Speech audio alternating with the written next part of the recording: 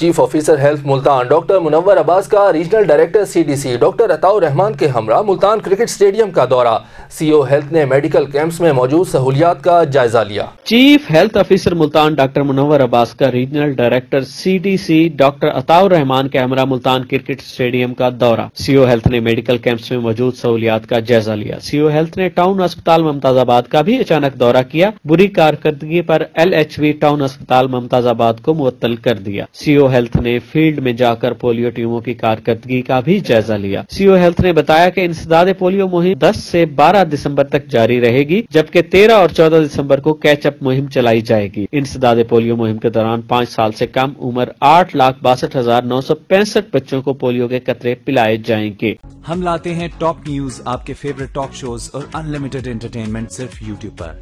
अगर आपने अभी तक हमारा चैनल सब्सक्राइब नहीं किया तो अभी सब्सक्राइब करें और बेल आइकॉन को क्लिक करके हमारी लेटेस्ट वीडियोस के बारे में अपडेट जानें।